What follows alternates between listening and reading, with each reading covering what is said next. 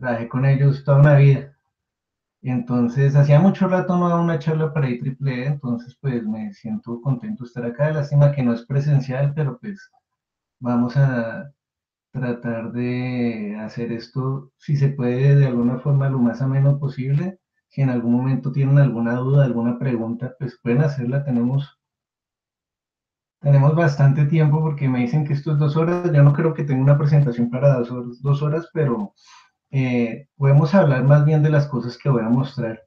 El día de hoy yo les vengo a, a mostrar un trabajo que realicé en mi tesis de doctorado en la Universidad de Sao Paulo, en Brasil, eh, en, en, en, San Carlos, donde, digamos, yo hice el doctorado. Eh, el título del proyecto se llama, o se llama Markovian Robust Impedance Control for Series Elastic Actuators in Rehabilitation. Y pues eh, está enfocado eh, un poco en la parte de control, eh, o no un poco, más bien mucho en la parte de control, control marcoviano, control robusto, pero también está realizado con eh, la rehabilitación del caminar para ayudar a algunas personas que pues tienen dificultades con sus actividades de la vida diaria durante el, el desarrollo de ese proyecto.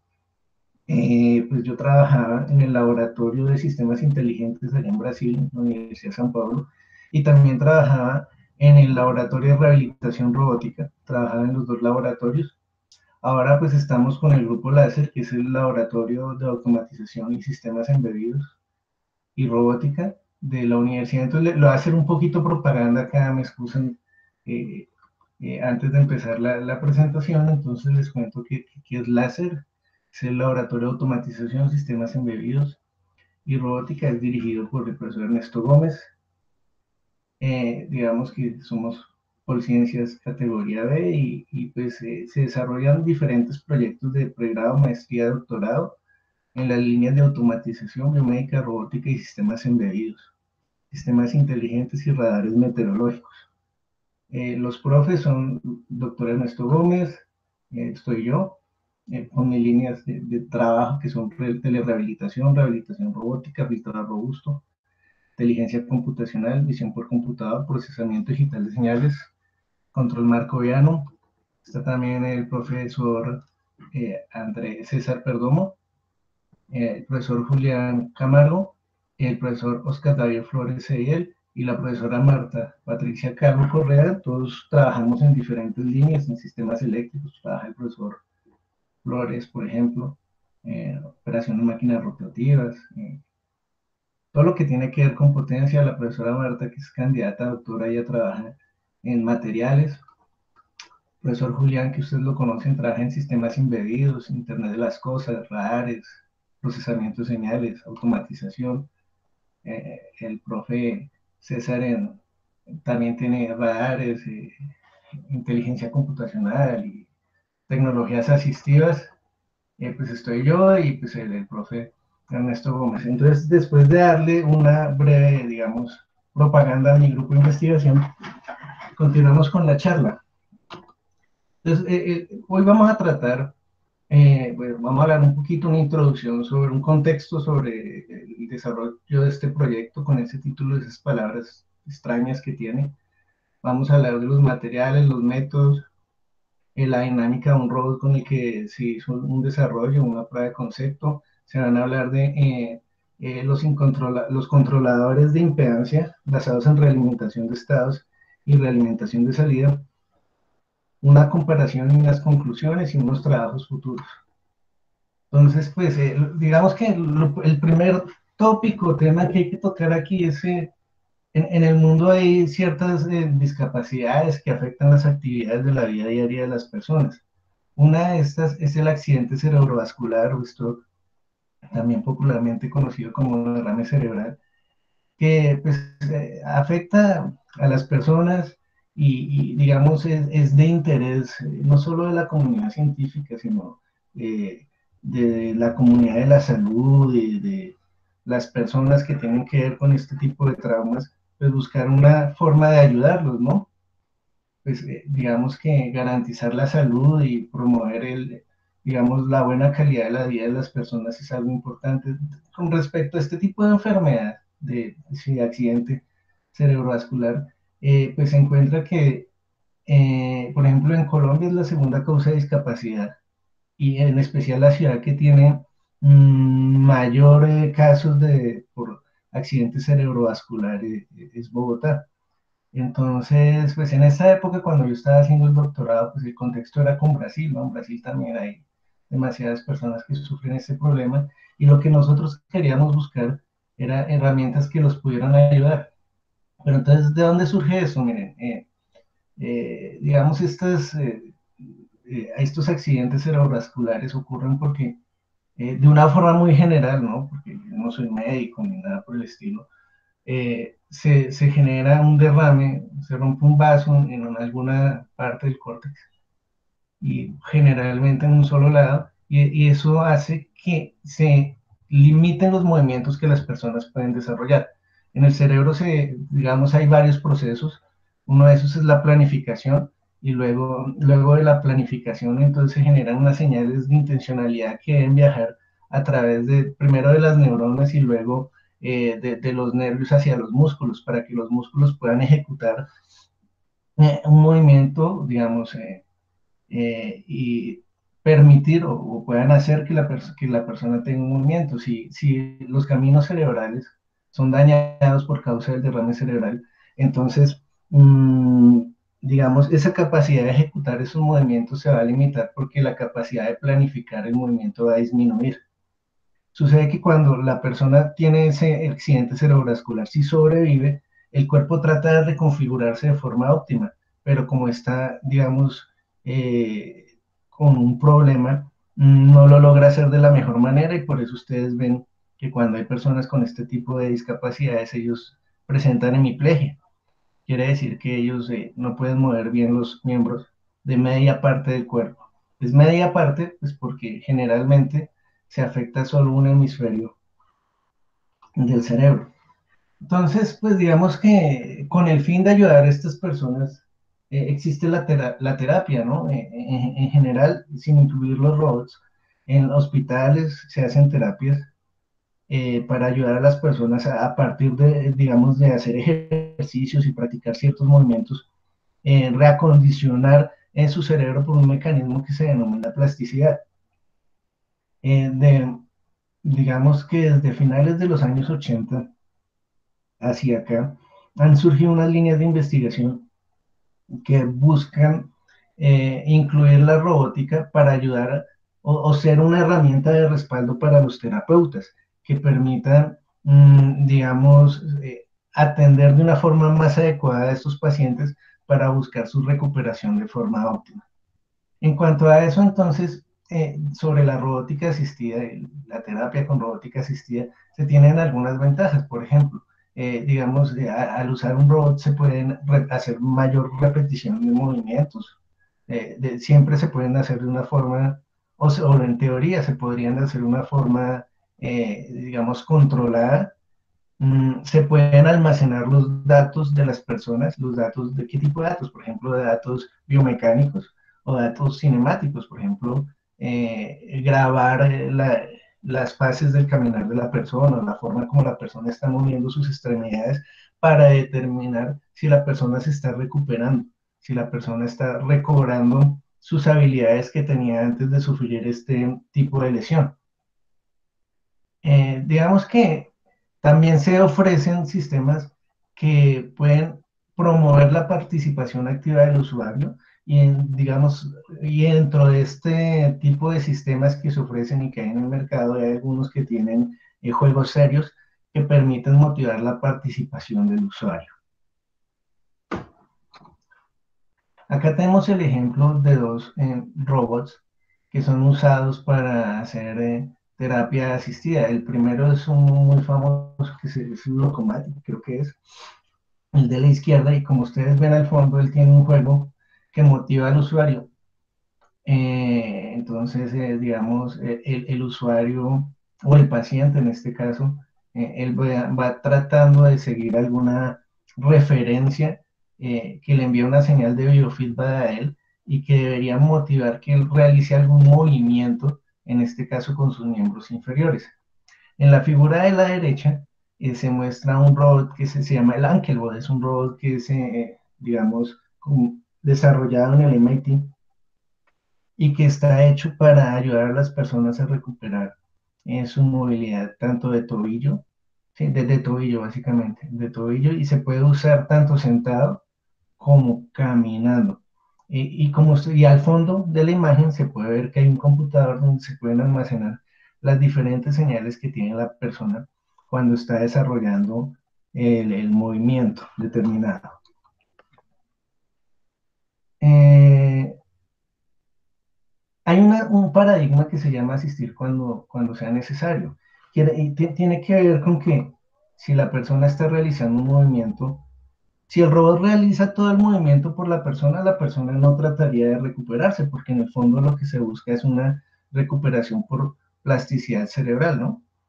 Entonces, si la persona no ejecuta ese movimiento, pues eh, nada, todo lo hace el robot, la persona no tendrá cómo recuperarse. Es como cuando alguien va al gimnasio si, si, si le hicieran todos los movimientos por la persona, pues no se podría recuperar. Pero si el robot, por lo contrario, es una carga muy grande para el usuario, pues podría lesionarlo también o podría simplemente hacer que el usuario pierda la motivación y que no haga el ejercicio. Entonces, el paradigma de asistir cuando sea necesario busca un trade-off, busca como eh, tratar de encontrar ese punto óptimo donde el usuario mmm, logre eh, un esfuerzo suficiente para generar alguna plasticidad cerebral.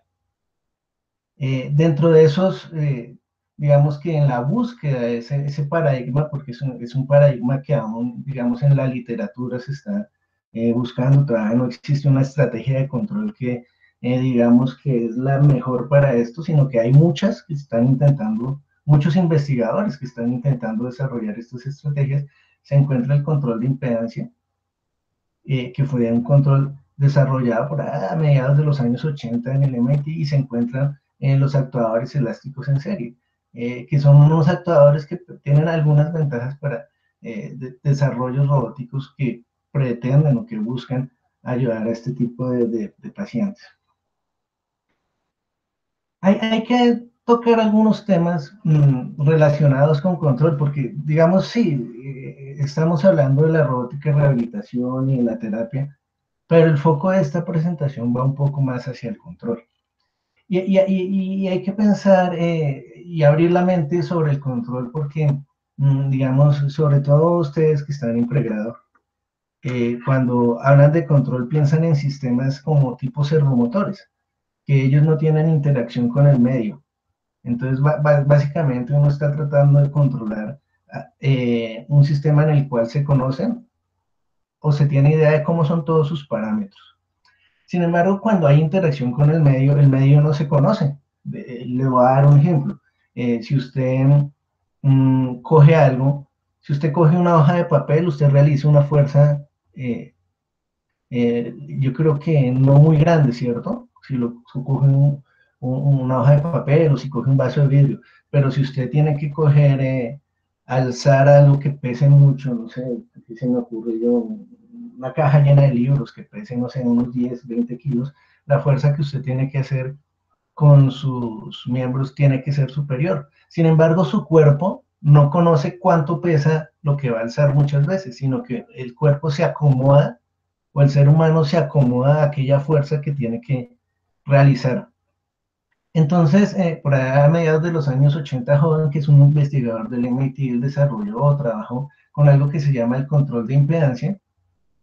Y con eh, un estudiante de doctorado que tuvo en el 88 que se llama Colgates, otro, imagínense, es un científico hoy en día muy importante. Ellos trabajaron con algo que se llama eh, el control de interacción y la estabilidad acoplada. Entonces, la estabilidad acoplada lo que hace es considerar em, que el ambiente es representado por una admitancia y que el robot es representado por una impedancia. Entonces, eh, digamos, consideran, ustedes conocen sobre circuitos, ¿no? Entonces, cuando hablamos de circuitos, eh, hablamos muchas veces de impedancia y admitancia, ¿cierto? Pero si hablamos de los sistemas mecánicos, podemos hablar de impedancias mecánicas y de admitancias mecánicas. Digamos que la impedancia es una relación entre mm, una fuerza o un torque y una velocidad y, por ejemplo, un parámetro de fricción o un parámetro de rigidez o un parámetro mm, de inercia. ¿sí? Hay, hay relaciones similares, ¿no? Entonces está este concepto de impedancia mecánica, ¿no? Esa relación entre la velocidad y la posición, entre la velocidad y la fuerza, bueno, entre la fuerza y la velocidad más bien, entre la fuerza y el ángulo. Entonces, a partir de esto, eh, estos investigadores desarrollaron una teoría que permite atacar este problema de interactuar con objetos en los cuales uno no conoce los parámetros y buscar una estabilidad. Sin embargo, algo importante que hay que notar acá, y pues digamos que lo menciono, eh, eh, si alguien quiere algún día, pues lo podemos discutir, es que esta teoría está diseñada para sistemas, sistemas que cumplen con un principio de pasividad. Es, decir, que eh, se considera que mm, el ambiente es pasivo, no, no, tiene una señal activa que lo haga moverse, sino que usted va a chocar contra algo, por ejemplo, algo pasivo es una pared, por ejemplo, algo que está inerte. Ahora, cuando algo es activo, pues la cosa se puede poner un poco más compleja y es difícil garantizar la estabilidad.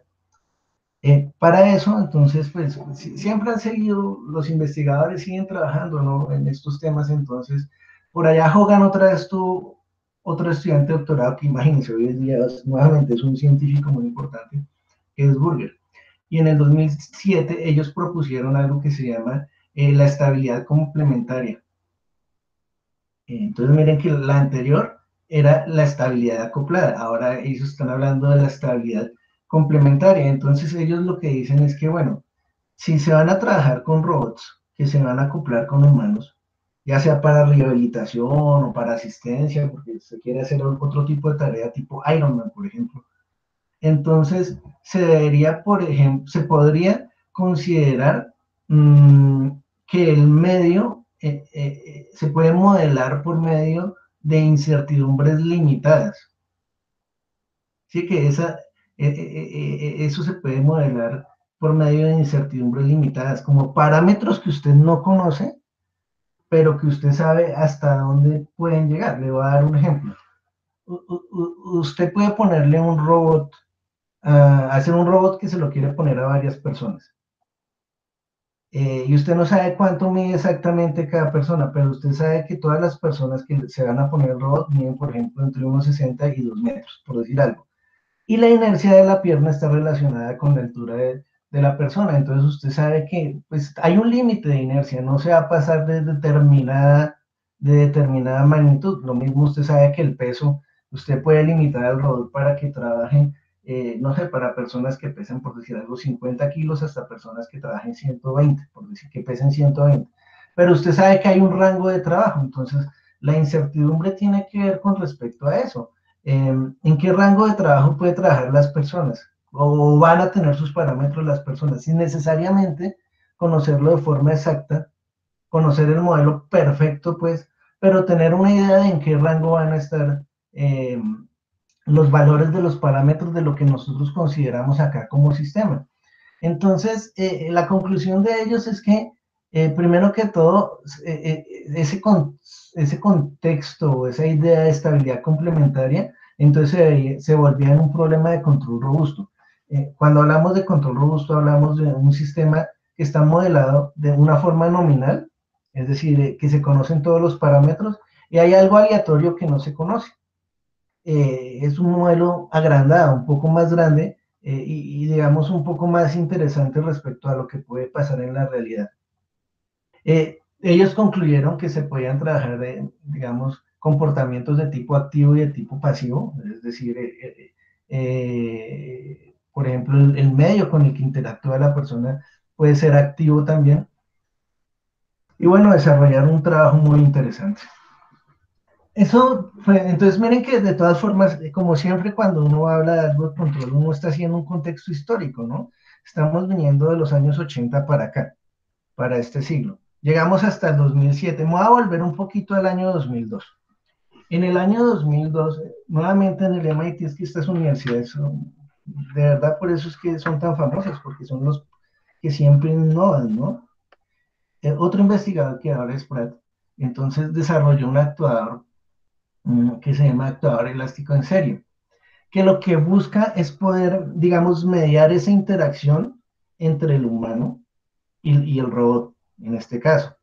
Entonces, ¿y por qué, por qué lo digo? Porque imagínese, usted se pone un aparato y el aparato empieza a moverse por cuenta propia y usted no quiere hacerlo, pues si el aparato tiene mucha fuerza puede hacerle daño, puede, por ejemplo, en este caso en miembros inferiores, eh, romperle una extremidad y pues eso no es interesante ni nadie quiere eso. Entonces se necesita limitar esos movimientos que pueda ejecutar el dispositivo robótico.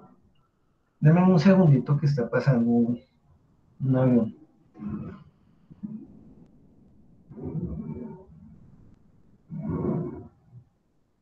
Creo que ya. Esto de los aviones puede ocurrir varias veces durante esta presentación, me excusan. Eh, y bueno, listo. Entonces, eh, el actuador elástico en serie en sí, ¿en qué consiste?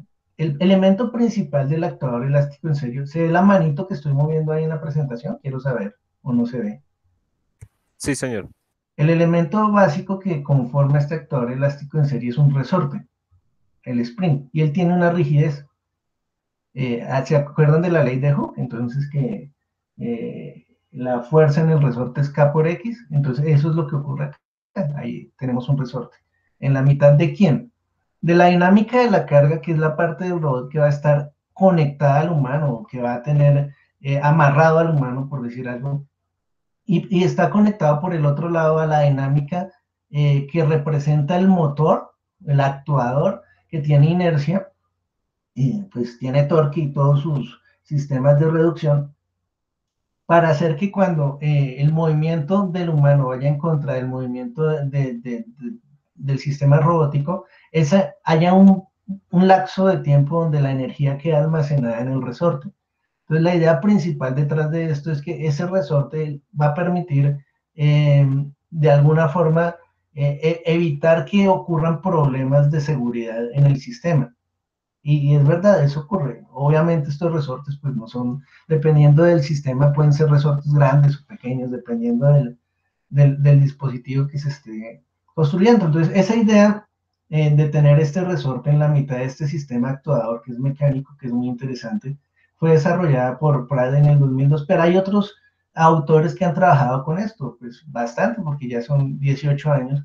Dentro de ellos está mm, eh, por ejemplo, Kong, que es muy famoso, Mei Jung, y, este Mei Jung fue el que trabajó con el, el, robot de la Estación Espacial Internacional, ¿no? También hay un colombiano trabajando, que en una charla hace unos años ahí en la isla, era, era, era electrónico también de la universidad, y, también está Dos Santos, que es un amigo, que él desarrolló un actuador muy interesante que ahora yo estoy tratando de replicar, y pues, pues yo también entré a trabajar con este tema, ¿no?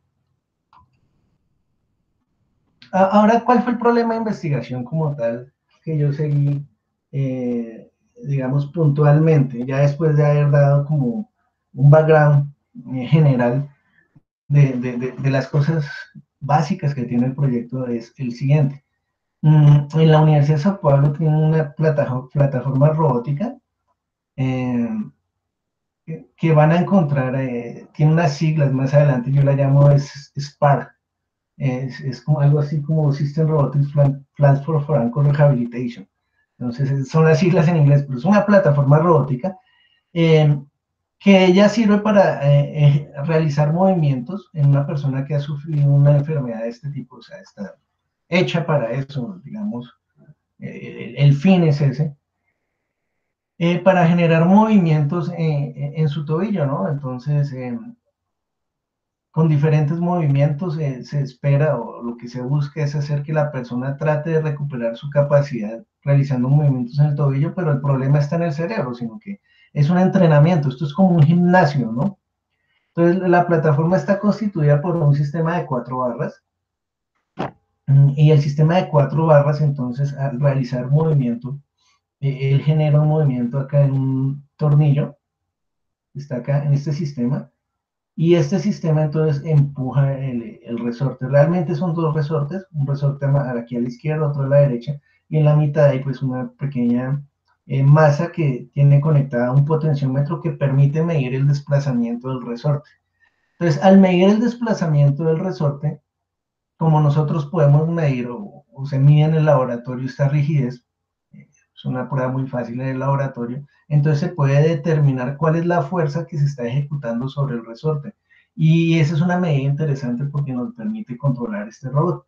Por otro lado, entonces está el, el, el, el motor del que gobierna el sistema, que pues él va a tener, eh, va a estar conectado a su amplificador de potencia y demás, y tiene unos engranajes pues que permiten la relación adecuada para realizar los movimientos eh, dentro de los tiempos y las fuerzas que se espera que un humano pueda realizar.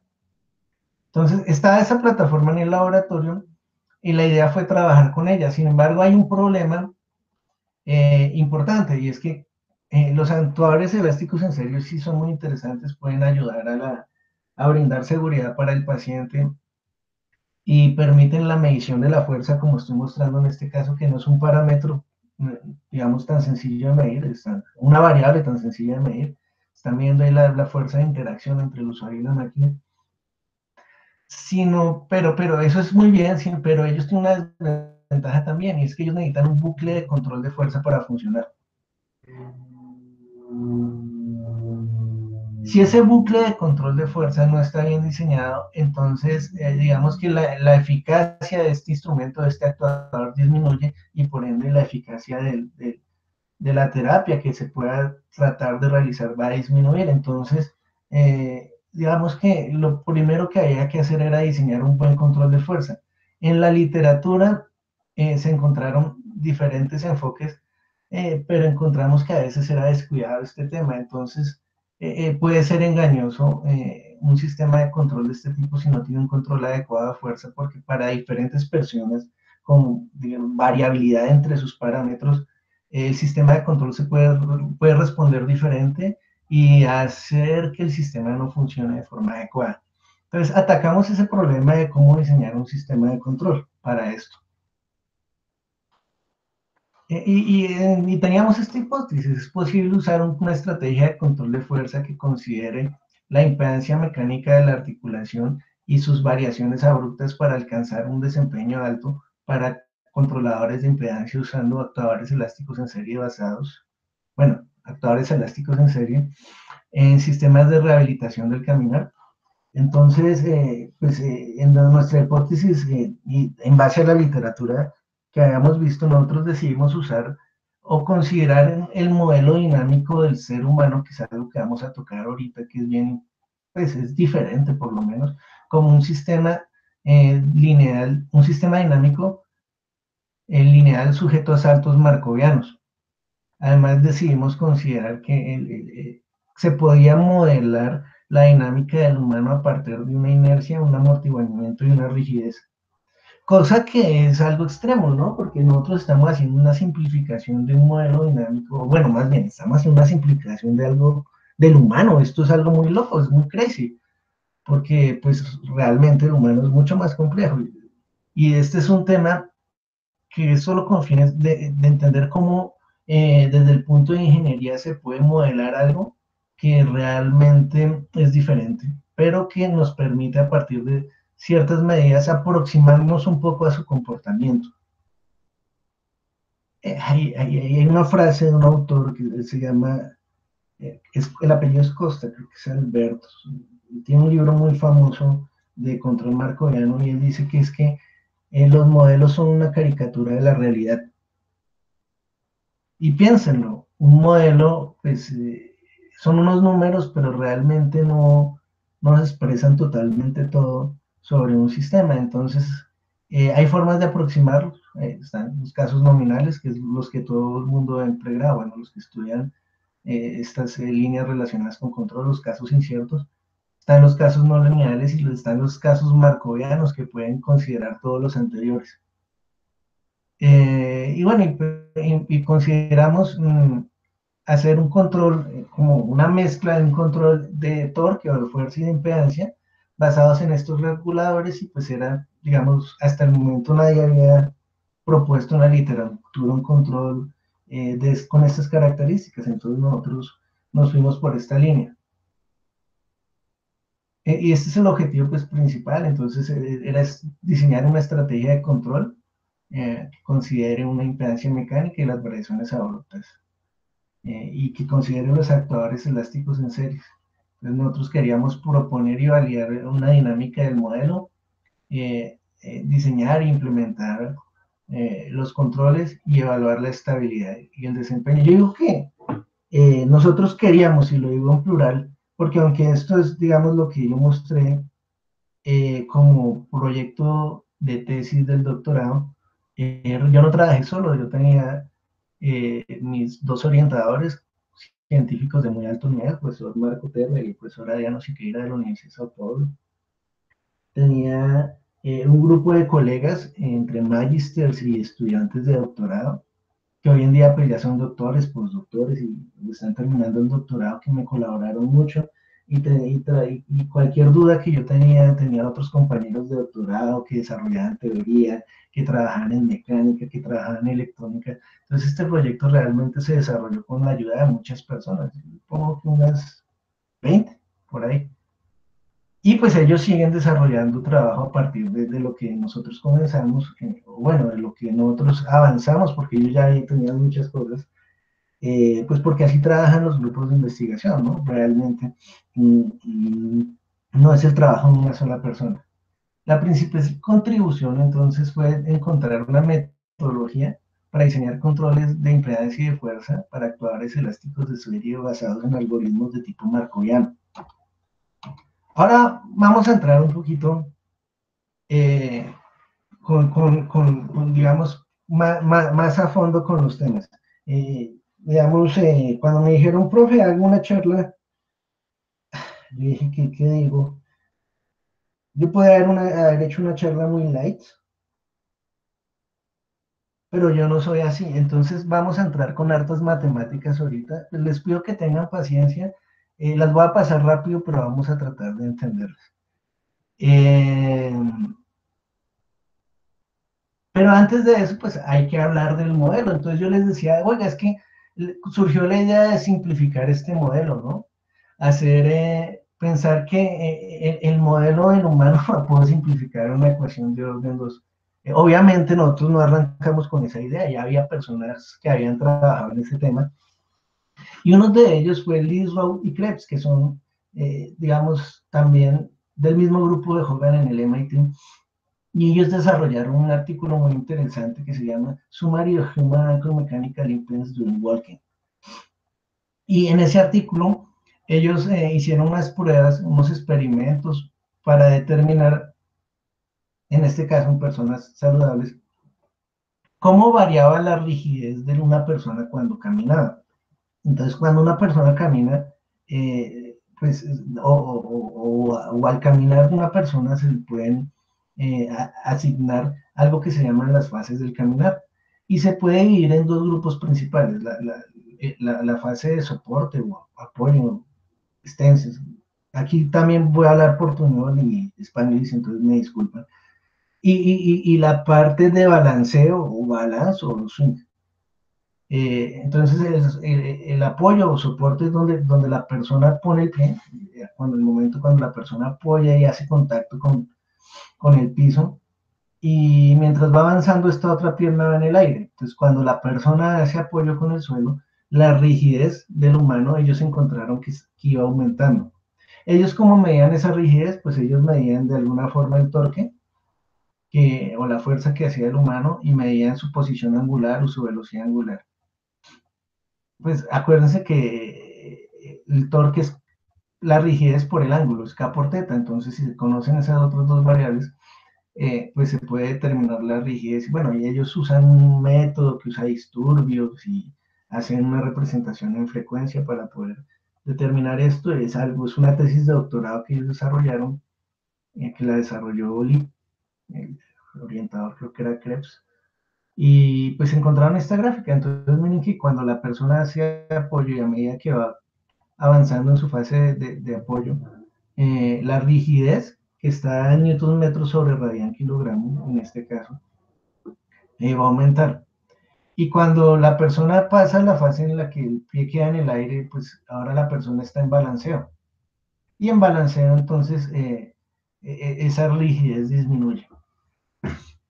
al ver esto nosotros consideramos que el, modelo realmente tenía dos, era como, se podía dividir en dos modelos realmente. Un modelo eh, que podíamos denominar activo, donde la rigidez del usuario es alta, y un modelo que podíamos denominar pasivo, donde la rigidez del usuario es bajita. Em, y tiene que ver con lo siguiente, cuando usted hace un modelo, eh, si usted quiere hacer un modelo muy preciso y, realmente que el, modelo se aleje en un momento porque tiene variaciones altas, el modelo deja de ser válido. Entonces usted tiene que considerar un modelo que se aproxima. Ahí, eh, eh, digamos, mm, ejemplos de modelos no lineales que se han desarrollado para tratar este, este, esto de aquí que estoy mostrando. profesor de Singapur, alguna vez nos escribía al respecto de eso, de por allá, bueno, oriental, no me acuerdo exactamente. Pero eh, el modelo marcoviano nos permite esas variaciones grandes también, pero nos permite además que esas variaciones sean abruptas. Y eso puede ocurrir, digamos, en el caso de una persona eh, saludable no va a ocurrir. Eh, podría ser simplemente variaciones grandes que ya es, es, una válida usar el, el modelo marcoviano, pero en personas que tengan una discapacidad y que sufran, por ejemplo, mm, espasticidad, eh, eh, la condición puede ser más, complicada porque ellos pueden, el, modelo puede variar de forma más abrupta porque eh, en condiciones de espasticidad una persona puede estar rígida en un momento y luego perder esa rigidez bruscamente y, y, eso pues para nosotros en términos del diseño del control era importante considerarlo. Además que eh, si el modelo era marcoviano y tenía una robustez asociada y podíamos considerar variaciones de la rigidez, por ejemplo, que esta línea para, diferentes personas no fuera exactamente la misma, sino que fuera variando, o que fuera variando acá. es considerar esas variaciones que yo llamo incertidumbres, eh, pues permitía, por ejemplo, hacer un robot que fuera vestible por diferentes personas sin estar que teniendo que identificar exactamente el modelo de cada persona y eso nos permitía, por ejemplo, intervariabilidad entre usuarios. Esta es la plataforma como tal, eh, pues, es, un dispositivo desarrollado en Brasil. Algo, algo, de los brasileños que me encanta es que ellos creen en las cosas que hacen. Y ellos son, tienen una pequeña idea y la van construyendo hasta que un día tienen un tremendo proyecto y lo venden. Creo que es algo que tenemos que aprender aquí en Colombia. Entonces ellos, esto empezó por allá con después de que mi profe fue a hacer el postdoctorado al MIT, el profe Adriano, cuando ellos implementaron este, esta plataforma para un proyecto de maestría. Entonces empezaron con cosas muy básicas, ¿no? Pero, digamos, le invierten, le invierten dinero. Por ejemplo, tienen esta placa EPOS, que pues vale unos cientos o miles de dólares, tienen este robot. Yo estoy comprando uno en estos días nomás, este motor vale dos milloncitos de pesos porque es un motor de la marca Maxon y él está controlado por esta placa EPOS. Eh, ellos desarrollaron allá en su laboratorio ese, un sistema acá con engranajes que podría ser mejor o peor, pero fue el que ellos desarrollaron. Eh, dentro de, esta caja metálica que está acá está el, el, spring, el resorte como tal, y en el centro hay una masita que está conectada a este un potenciómetro, que es un potenciómetro lineal común y corriente. Mm, viene el sistema de barras, y pues la idea es que la persona pudiera, eh, debería poderse adaptar eh, aquí a, la plataforma para eh, realizar los movimientos. este es un modelo esquemático del sistema como tal que estamos considerando, entonces se considera el humano, no es que se haya quitado el pie ni nada por el estilo, sino que nunca había todo el muñeco en, en el dibujo. Y se considera que el humano va a ser un torque, es un torque del humano diferente al torque de la plataforma, porque el torque de la plataforma proviene de la, del torque que ha sido enviado eh, por el motor y de lo que se ha almacenado en el resorte. Pero hay un torque del humano y el torque del humano pues tampoco se puede medir tan fácilmente porque usted no puede, eh, digamos, eh, romper el ser humano y colocar un sensor dentro de él para medir el torque, porque eso sería invasivo. Hay técnicas que lo miden usando, por ejemplo, identificación del disturbio y se considera que el torque humano es un disturbio. Entonces, eh, eh, digamos, es algo importante entender. Y además que es algo variable, no depende de lo que se programe el sistema, sino que depende de lo que quiera hacer el humano. Ese torque de la plataforma es transmitido por este juego de barras, como les contaba antes, y viene aquí el resorte, y el resorte almacena esa energía, ¿no? Mm, varía la distancia y se puede medir, entonces, con la rigidez se puede medir esa fuerza. Esa fuerza, al volverse aquí angular, se vuelve torque, ¿no? Pues con las debidas relaciones. Y pues hay unas fuerzas mecánicas acá que ustedes, hay fricciones, hay, digamos, eh, inercias debidas también a, aquí a la, polea y no linealidades, porque esto se trata de mover, a veces se desacopla y no todo es completamente modelado siempre. De hecho, nosotros no modelamos todo.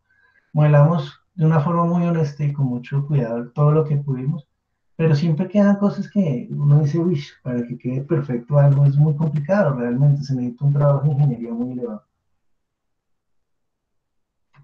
Me disculpan mojando la palabra porque llevo hablando ya 50 minutos, no friegue. ¿Cómo avanza el tiempo? Listo. Entonces, para poder, digamos, diseñar esta estrategia de control de fuerza, eh, nosotros entonces consideramos esta tecnología, este, este algoritmo. Eh, no, consideramos primero el modelo como, un modelo lineal sujeto a saltos marcovianos discretos con incertidumbres paramétricas. DMJL se traduce, o, más bien quiere decir Discrete Time Markov Linear Systems. Entonces, cuando hablo de sistemas markovianos, hablo de esta serie. ¿De, qué trata esto? Primero, se tiene un modelo, bueno, como nuestra teoría base de control que trabajamos trabaja en tiempo discreto, entonces yo voy a estar hablando acá en tiempo discreto y pues eh, simplemente es considerar que uno toma muestras de un sistema a una tasa de muestreo determinada, ¿no? con un periodo de muestreo.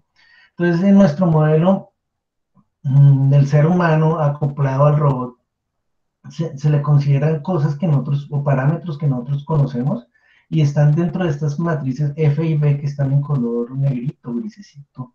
Pero los que están azul es lo que nosotros llamamos incertidumbres. Las incertidumbres entonces son esos, esos valores de esos parámetros que no se conocen perfectamente no son conocidos perfectamente.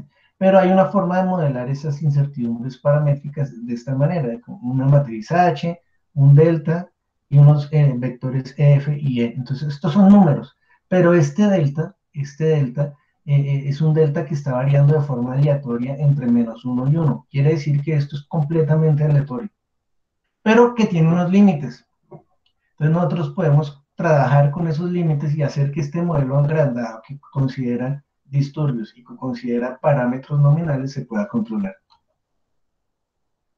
Ah, ¿dónde entra lo marcoviano? Si ven que acá hay un teta, ese teta indica que este modelo depende de un parámetro de salto. Ese parámetro de salto implica que podemos dividir nuestro modelo en diferentes modelos. Eh, digamos, tomar los diferentes modelos para modelar un modelo más grande. Esa es la idea detrás de esto. Y entonces el proceso de modelar debe ser modelado por una cadena de Markov. Y para, para que esto ocurra, entonces lo único que necesitamos es conocer el estado en el que estamos y conocer la probabilidad de salto para un siguiente estado. Es parecido a una máquina de estados, pero incluyendo la probabilidad. ¿Cuál es la probabilidad de pasar de un, de un estado a otro? Eh, Listo, y hay, unas técnicas de control, entonces una de estas fue desarrollada ya en Brasil por el profe Marco Terra en 2014, que lo publicado en una transacción. Entonces ellos desarrollaron este que se llama el regulador robusto. Ah, este fue publicado en 2017, sí, este es más reciente. Eh, este es el regulador robusto para sistemas lineales sujetos a saltos marcovianos y lo que busca esto es encontrar una ley de control óptima. Entonces miren que lo que está aquí abajo es un es la acción de control del sistema. Y lo que tenemos acá es una ley de control que es K por teta, donde estas son las constantes de un control de realimentación de estados y estos son los estados de un sistema. Lo interesante es que mm, esta teoría utiliza las ecuaciones de Ricardo y a partir de un modelo con incertidumbres encuentra la acción de control óptima, es decir, la mejor acción de control que se puede encontrar. Y pues tiene, es bastante interesante, digamos que eh, e-, ese problema de trabajar con incertidumbres y controles óptimos, lo, o más bien, el problema de control óptimo fue por allá empezado a trabajar por Kalman hace como es en los años 50, ¿no? El hombre fue a la luna con esa teoría. Pero ese problema de tratar ese control óptimo con incertidumbres es un problema que eh, duró 50 años sin resolverse hasta que esta gente por allá encontró forma de trabajar con este tipo de teoría que utiliza matrices de tipo esparsa o esparcidas, no sé cómo se dice en español. Eh, y a partir de acá pues se pueden cumplir o garantizar algunas cosas. En particular, eh, digamos que hay un parámetro aquí dentro de este algoritmo, a ver si lo encuentro en W, dentro de esta variable W, que si ese parámetro eh, mi que está dentro de W tiende a infinito, hace que esta variable W tienda a cero. Esto ya es parte, pues como tal del algoritmo, tocaría hacer un curso de control marcoviano, control robusto para entender esto. Pero lo importante de acá es que cuando eso ocurre, eh, las incertidumbres E que están dadas por F y e B, al multiplicarse por la constante de control se vuelven cero. Miren que yo tenía, hablaba de las incertidumbres acá, H, delta, E, e, e y, y EF y EB. Acá lo estoy volviendo a llamar. EF, EB, pero multiplicado por K. Hay una demostración que muestra que esas incertidumbres se vuelven cero y entonces lo que implica es que eh, el, el, sistema, a pesar de ser incertidumbres, se vuelve como un modelo, eso como un solo modelo. Eso quiere decir, yo puedo tener 10 personas que se ponen el robot, que tienen parámetros diferentes, pero si tengo las constantes de control adecuadas, el comportamiento de la fuerza ejecutada sobre el robot de esas personas se vuelve similar para todas, dada la robustez del controlador. Que era, eso era algo interesante, ¿no? Que cuando todas las personas tienen variables o parámetros diferentes, eh, garantizar un control es, diferente. ¿no? Ese es el problema de la interacción, ¿no? Porque cuando uno hace un control de un motor, pues es muy simple porque el motor nunca cambia. Sus parámetros siempre son los mismos. Eso es muy sencillo. Pero cuando usted hace un control de un, de un sistema que está variando todo el tiempo, la cosa ya no es tan fácil. Además, porque se puede ver comprometida la estabilidad. Eh, dentro de los materiales y los métodos también consideramos el, filtro de Kalman robusto para saltos marcovianos. También eso fue, digamos, es un investigador, se, se graduó en doctorado como en 2013, profesor en Brasil, él, es un excelente matemático.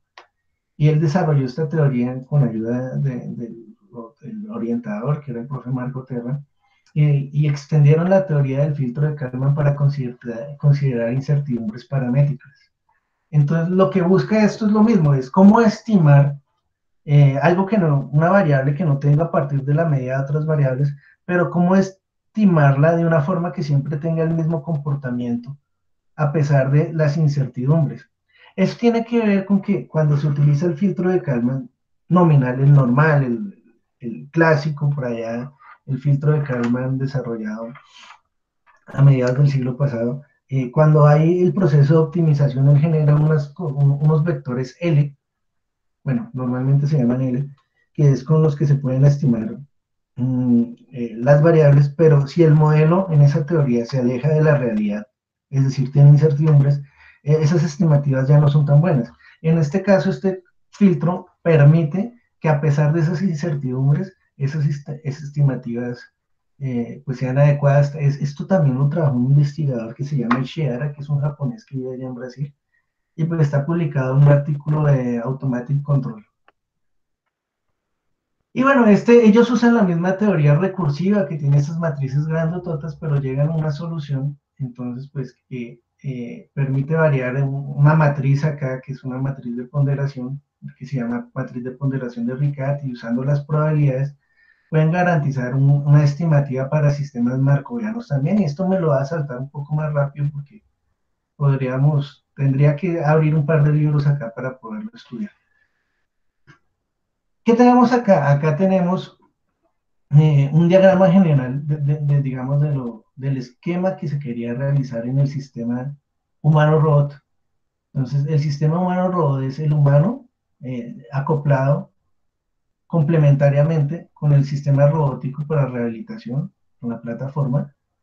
Eh, digamos que de todas formas eso tiene un control PI de velocidad que permite eliminar algunas no linealidades que tienen siempre los sistemas mecánicos y esto eh, los que trabajamos con sistemas mecánicos, los ingenieros mecánicos que trabajan en control tienen esto muy claro, siempre se usan este tipo de lazos de realimentación interna, incluso tiene un lazo de control de corriente. Los mecatrónicos también. Eh, a los electrónicos, pues nos toca aprender, por eso tuve que estudiar el doctorado en mecánica y la maestría en automatización, porque el, mundo es muy amplio, es muy, muy amplio y hay muchas cosas por entender. y fuera está nuestro control de fuerza, fuera está nuestro control de fuerza, que es la teoría pues novedosa que queremos acá eh, desarrollar. Eh, y por fuera hay otro bucle que es el control de impedancia. Mm, este control de impedancia que está expresado en una forma tipo de, mm, de como de realimentación de variables de estado, una forma canónica, pero se puede reducir en esto. Básicamente es un control PD. Miren, nosotros tenemos eh, el amortiguamiento por la diferencia de las velocidades, o sea, el error de velocidad, más la rigidez por la diferencia de los ángulos. Pero esta rigidez es, digamos, la velocidad es la primera derivada del ángulo, o sea que acá tengo B por la derivada de teta más K por teta, es un control PD. Eh, pero el, enfoque es que realimentando estas variables nosotros podemos cumplir algunas condiciones de pasividad. Ahora nosotros necesitamos garantizar que este control de fuerza fuera bueno para que esto funcionara bien.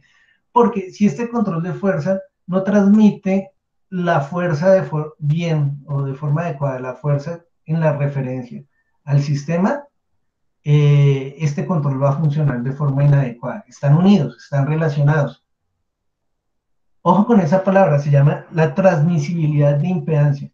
Y este parámetro eh, adicional es un parámetro, digamos, de corrección de error que permitía, eh, digamos, suavizar un poco el comportamiento para diferentes usuarios, no con respecto ya a, la, transmisibilidad de impedancia, sino con respecto a lo que el usuario quería sentir cuando trabajaba, con respecto a, algunos sobrepicos que se podían generar. Se puede quitar también, no es necesario, sino que yo lo incluí todo el tiempo lo dejé ahí porque los experimentos quedó. Bueno, entonces, ¿cómo modelar esta, esta, esta dinámica? Eh, digamos que nosotros cuando atacamos este problema no teníamos ni idea por dónde empezar para modelarlo de esa forma marcoviana, eh, de esa forma con parámetros inciertos, cómo meter el modelo de orden 2, buscamos en la literatura, algunas personas eh, pues tenían trabajos o muchos científicos sobre eh, con actuadores elásticos en serie, pero es como el sistema de nosotros había sido desarrollado en la misma universidad. No había un modelo ya hecho para esto. Entonces nosotros tuvimos que identificarlo y validarlo. Nosotros dividimos esto en tres partes. Una parte que es la primera parte, que es la, la asociada al motor, que tiene todos los elementos asociados al motor y al sistema de transmisión. El elemento principal, que es el resorte, que nos generaba unas ecuaciones, y al final es lo que nosotros llamamos la carga del sistema, que era el sistema humano, digamos, mm, atado a, la plataforma robótica como tal. De ahí, bueno, algunos parámetros se encontraban y, algunos se midieron. Entonces teníamos, por ejemplo, eh, es la relación de engranaje, teníamos las distancias, todas las teníamos, eh, calculamos un parámetro jacobiano que nos permitía calcular la relación entre fuerza y torque porque habían desplazamientos translacionales y rotacionales, teníamos las inercias en la plataforma. Eh, J son las inercias dadas o relacionadas al motor.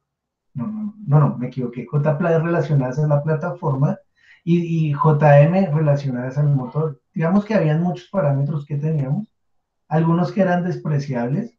Teníamos la, la rigidez de, de, de, de eh, del resorte que va en el actuar elástico en serie, que es una rigidez apreciable. Digamos, usted no puede coger ese, ese resorte y doblarlo con la mano. Eso es muy fuerte, pero cuando está en la máquina, él sí eh, representa unos movimientos importantes que son en milímetros, ¿no? Pero esos movimientos en milímetros implican fuerzas grandes para el humano. Y lo interesante del asunto, lo que no, digamos, no se había hecho es que nosotros consideramos Mm, eh, la rigidez, el amortiguamiento, eh, la rigidez, el amortiguamiento y la inercia del humano, y consideramos que era, primero que iba a tener inercias, Por ejemplo, que la rigidez del humano no siempre es la misma, porque pues, podría variar la persona, o incluso entre el experimento, si la persona se cansa, su rigidez puede variar, sino que también consideramos que la podríamos trabajar de forma marcoviana con modos de operación. Entonces, eh, consideramos para el humano dos modos, el teta 1 y el teta 2, con estos parámetros de rigidez, donde la rigidez pues, se nota que varía apreciablemente, 220. Eh, los, también los de amortiguamiento y los de inercia, los de inercia no varían tanto. Y consideramos inicialmente en un primer experimento un caso fijo, porque en la literatura muchos actuadores elásticos en serie son modelados así amarran, aprietan el, actuador con respecto a una base de tal forma que uno, de los extremos del actuador quede fijo y le aplican técnicas de control para ver su comportamiento en la frecuencia y a partir de ahí hayan como un límite de trabajo del actuador elástico de serie. Entonces nosotros pues hicimos lo mismo para verificar. Y encontramos este modelo de variables de estado. Este modelo, un día estaba yo en la playa y me vino a la cabeza, entonces lo escribí, con esta vaina me gradué, lo probamos y funcionó. El modelo tiene como variables de estado, tiene eh, la fuerza en el resorte, la derivada de la fuerza en el resorte y la posición angular. Eh, considera que el torque humano es un disturbio, es algo que no es conocido por el, por el, por el ni por el computador que hace el control, ni por la persona que lo programa, y considera que hay otros disturbios que provienen de la misma transmisión, como es el, desplazamiento del motor, que es una variable que es no controlable, entonces la consideramos como disturbio, y considera que la acción de control en el sistema es la velocidad del motor. Y que estos parámetros, mm, los parámetros del humano son variantes. Entonces, eh, los que están con L, que es la carga, son tienen un parámetro nominal que es sacado la literatura de una persona que ni conocemos, que ni siquiera vivía en Brasil, sino por allá en Estados Unidos, pero que dentro de los límites de la humanidad nos servía para determinar que era similar a algo que podía ocurrir allá, ¿no? Finalmente todos somos humanos, somos lo mismo. Y tenía una, una matriz de salida, eh, de la cual, o bueno, dos, dos, dos variables de salida que se podían determinar. Por un lado, la velocidad angular y la posición angular, porque esas son importantes para el control de impedancia, que era el siguiente bucle de control. Y por otro lado, el parámetro o la fuerza, porque era nuestra variable a controlar como tal.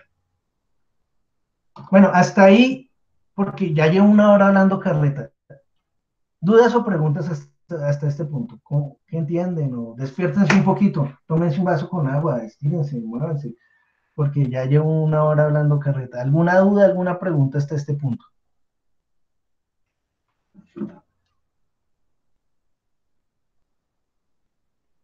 ¿Están despiertos? Preguntémosle a José Daniel. Hola, José Valencia, ¿cómo estás? Qué pena ser tan preguntón. ¿Cómo vas? Buenos días, profe, ¿cómo está? Eh, de momento no, no, tengo ninguna pregunta. Mira, aquí, hace una pregunta Sebastián Leonardo Bejarano Medellín. Yo no sé esto dónde me están mirando. Bueno, ¿qué tan fácil era hacer lo mismo por lógica difusa? Pues mira, realmente hay teorías muy interesantes como la lógica difusa y creo que ellos hicieron un par de artículos con lógica difusa hace unos años, pero no era el interés del proyecto. Em, eh, la comunidad de lógica difusa es muy amplia, entonces eh, los invito a que trabajen en esto también, si quieren podemos trabajar. Yo conozco lógica difusa también, pero no era nuestro interés. Nuestro interés estaba más relacionado por un lado, la robótica de rehabilitación, que era lo número uno, pero a, tratar teorías desarrolladas en Brasil sobre control marcoviano y control robusto. Eh, pues porque, imagínate, fueron desarrolladas en esos laboratorios eh, con ayuda de profesores de por allá de Río de Janeiro, de Sao Paulo, y a probar algunas de las cosas que hacen en otros laboratorios, eh, como en el MIT, por ejemplo. Entonces no estábamos muy enfocados en esas teorías, aunque son muy interesantes. En uno de los las personas que yo nombré acá, Dos Santos publicó en algún momento un, artículo, un documento usando lógica difusa. Eh, Andrés Rodríguez, hola Inge, buen día, saludos desde la rama de la Hola Andrés, ¿cómo estás? Me alegra saludarte. Listo, eh, continuemos entonces. Profe, yo tengo una duda. Dime, cuéntame. eh, pues teniendo en cuenta que para todo esto de la, de la bioingeniería y también la robótica, en, pues para la bioingeniería hay que ser, digamos, tan cautelosos, teniendo en cuenta de que estamos, digamos, jugando con la salud de una persona o, bueno, todo este tipo de cosas. Me gustaría saber si este modelo también contempla eh, la parte de, digamos, eh, a la hora de, medir el centro de masa y también la longitud de las piernas con respecto al tronco y pues todo esto que, que implica que el sistema pueda cambiar o no dependiendo de la facilidad de la persona, digamos que el centro de, masa esté más abajo, entonces para el cuidado de las rodillas o también en qué rango de edad se puede usar este dispositivo teniendo en cuenta que pues los músculos no tienen la misma flexibilidad y todo este tema. Interesante pregunta, pues mira, eh, digamos que este, este en particular, vamos a ver más adelante que esto ha avanzado, ¿no? Estoy hablando de al 2016 cuando yo estuve trabajando en este tema. Yo me gradué ya hace como año y medio. Mm, eh, se consideraba la plataforma por una persona que estaba sentada primero. Entonces eso disminuía algunas limitaciones y, pues eh, no se consideró puntualmente la altura con respecto a, la plataforma, sino que se busca es que cuando el, usuario se acomode, se sienta cómodo, ¿no? Sin embargo, con respecto al centro de masa del pie, con respecto a la plataforma, sí se consideró y se analizó. Incluso un revisor de un artículo que publicamos nos preguntaba que si eso era relevante porque eso llevaba a que esta parte de acá se modelara de forma no, lineal. Y haciendo las medidas y los cálculos y las, las pruebas respectivas encontramos que eso era despreciable se consideraba simplemente, era despreciable la no linealidad, pero sí se, sí se consideran algunos parámetros de distancia. Mira, por ejemplo, acá se consideran eh, estas distancias que son importantes del, de la plataforma que nos permiten determinar cómo se transfiere el torque del humano hacia la, la, plataforma y se convierte de forma vectorial en una fuerza, ya no, no, no en un torque, sino en una fuerza traslacional. Eh, esa distancia que se midió acá, pues eso iba por un seno, un coseno, no recuerdo, y era tan pequeña que pues esto se, se, desconsideraba, pero si hay unos límites de trabajo, esto funciona creo que entre menos 15 grados y 20 grados. Está hecho para ese rango de trabajo. Em, con respecto a la salud de, digamos, de las personas que pueden usar esto. Pues primero que todo esto era un, em, una prueba de concepto, ¿no? Estábamos desarrollando tecnología. No, este proyecto eh, eh, aún no llegó a ser aplicado en usuarios con discapacidad. Digamos, allá en Sao Paulo siguen trabajando ellos, van avanzando, vamos a ver que yo pues también quiero seguir trabajando en esta línea. Pero, eh, y ellos han trabajado con personas con discapacidad, pero para esta plataforma en particular aún no, porque hay que, digamos, se van cumpliendo unos procesos, ¿no? Y en ese momento, pues no, era. Entonces, todas las, personas, las pruebas eran con personas saludables. Dentro de las edades se escogieron personas eh, mayores de edad eh, y se hicieron pruebas con algunos usuarios. Más adelante lo vamos a ver. Mm, ¿Qué más te puedo decir al respecto? No, creo que por ahí, por ahí creo que, que voy. De todas formas, esto estaba avalado por una, de, de una universidad y pues eh, cumplía con unas reglas importantes para poder desarrollar el proyecto, pero era una prueba de concepto, ¿está claro? Sí, señor, muchas gracias. Obviamente, cuando se trabaja con pacientes, o sea, hay muchos aspectos que hay que considerar y pues, van un poco más allá de los alcances de esta presentación. Continuando, entonces ya después de ese, break, de esa charla, de esa charla pequeña, entonces, eh, nosotros a partir de ese modelo desarrollamos o, probamos este, este tipo de control con otro control, ¿no? No con los marcovianos o, o, con los robustos, que era inicialmente la idea, sino con otro tipo de controlador robusto muy importante y muy famoso, que es el tipo H infinito, que es, digamos, se ha considerado en la literatura que está en la cima de todas las demás técnicas de control. Bueno, eso es una discusión tenaz porque si ustedes de otra línea puede decir, no, que a mí me gusta el adaptativo, que a mí me gusta el fusil, que a mí no me gusta el control, pero sí uno encuentra artículos donde hablan muy bien de este tipo de técnicas que fue desarrollada por allá a partir de los años 80 y probada en los 90 y en este siglo, ¿no? Entonces usamos, eh, volvimos este, este modelo, un sistema de una entrada, una salida, y le aplicamos eh, una técnica de control, bueno, hicimos unas simplificaciones en el modelo, y con, con, con esa técnica de control hicimos eh, un modelamiento del sistema, verificamos los parámetros, los validamos, hicimos una respuesta en frecuencia, hallamos la coherencia, pues, la correlación entre eh, si, si, si, si, nuestro experimento se acercaba al modelo, hicimos unas pruebas con usuarios, con el sistema y delimitamos unos parámetros. Y nos fuimos a probarlo. Entonces, eh, digamos que desde el punto de vista de la representación discreta que les decía hace un rato, eh, pues si usted tiene un modelo eh, que está en tiempo continuo, pues usted lo, lo, discretiza. Hay un algoritmo muy famoso, ustedes los encuentran en que es el C2D. Acá está resumido. Eso son unas iteraciones que se hacen para pasar de un modelo que está en continuo a un modelo en tiempo discreto. Y nosotros entonces, para el caso marcoviano, en el primer ejemplo que voy a mostrar, eh, considerábamos entonces un modelo con, eh, por ejemplo, dos matrices acá, ¿no? Entonces, eh, un, unas son para el caso donde el sistema es activo y otras son para el caso donde son pasivos. Acuérdense que estamos dividiendo el, el modelo en dos, en dos pedacitos eh, con sus correspondientes entradas. Eh, es la topología de control. Tiene la plataforma, el humano, tiene el ángulo, la fuerza, la derivada de la fuerza.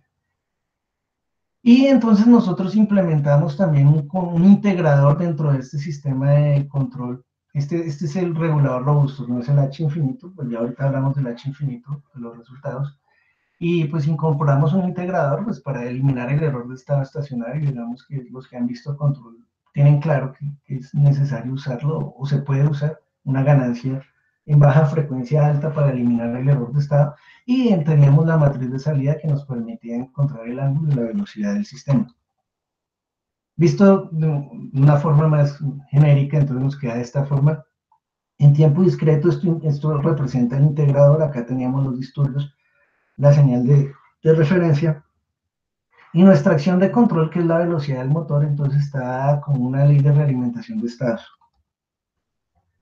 Una de las cosas que a mí me parece chévere de los controles robustos es que, y que con mucho respeto con otras técnicas muy importantes, es que uno usa muchas cosas, eh, mucha información, mucha matemática para resolver un problema, pero uno llega a soluciones muy simples. Es decir, este control simplemente es un vector de constantes. El problema es cómo encontrar esas constantes.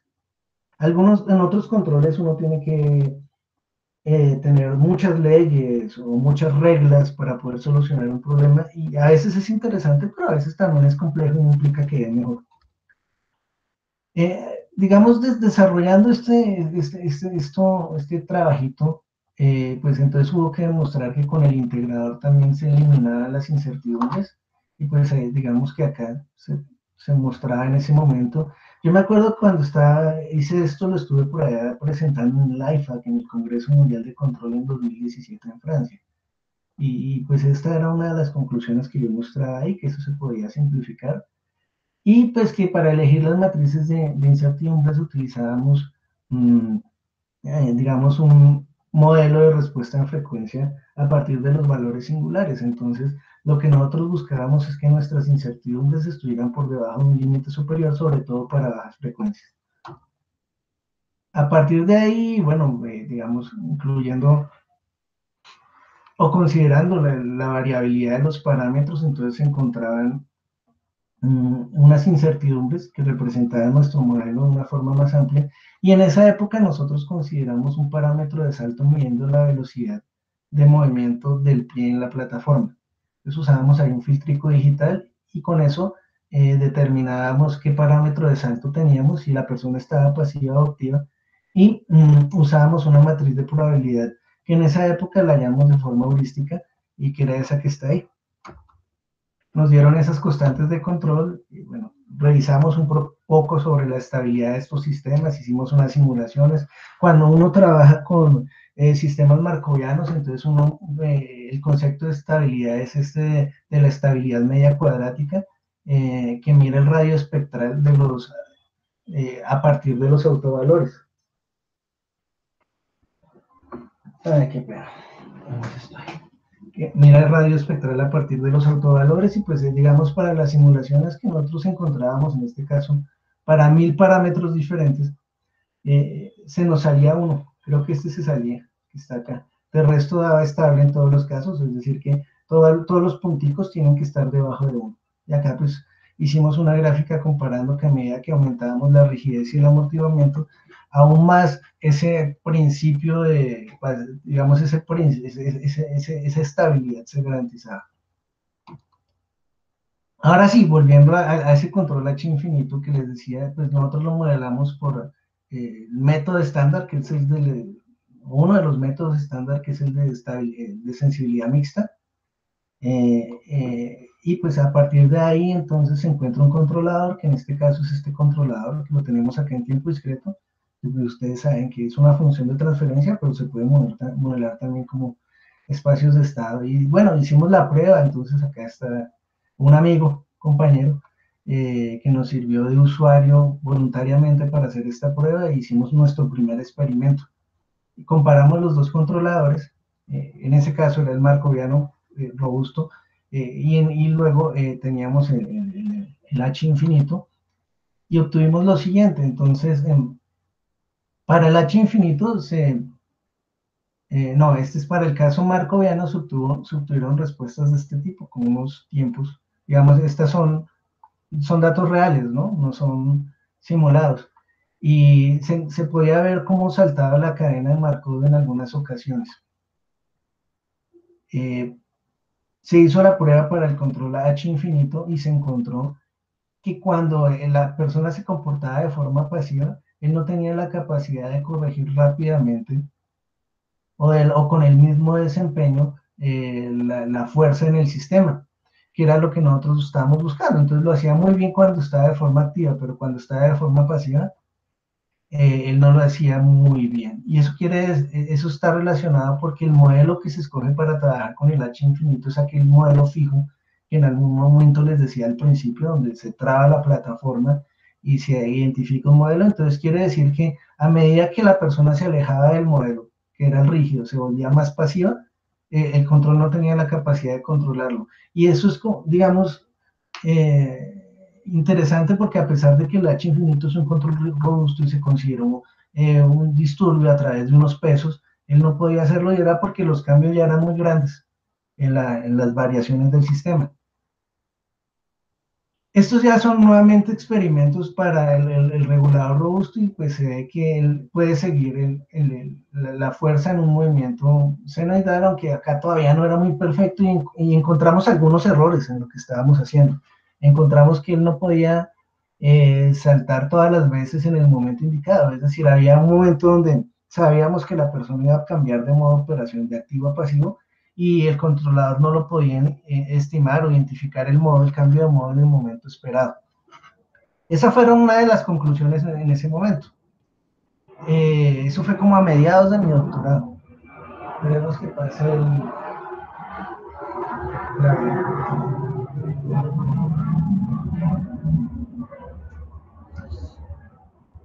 Eh, digamos que hicimos un análisis en respuesta de frecuencia em, y encontramos con respecto a la fuerza, la respuesta de la fuerza del sistema, que para el caso del regulador robusto, la fuerza se mantenía similar tanto para el caso pasivo como activo durante un mayor eh, lapso de frecuencias o durante puntos de operaciones de frecuencia más altos que cuando lo hacíamos eh, con el control H infinito. Con él veíamos que para el caso activo lo hacía muy bien, pero que para el pasivo él perdía desempeño rápidamente. Y acá se puede ver en una gráfica de respuesta temporal, cuando nosotros queremos que la roja siga la, curva azul. Entonces, que eh, eh, la roja es la salida y la azul es la deseada, ¿no? Y vemos que en el caso en el torque, en el torque, en esta, la, la, gráfica de arriba, queremos que la siga. La gráfica de abajo no nos importa, ya les explico por qué.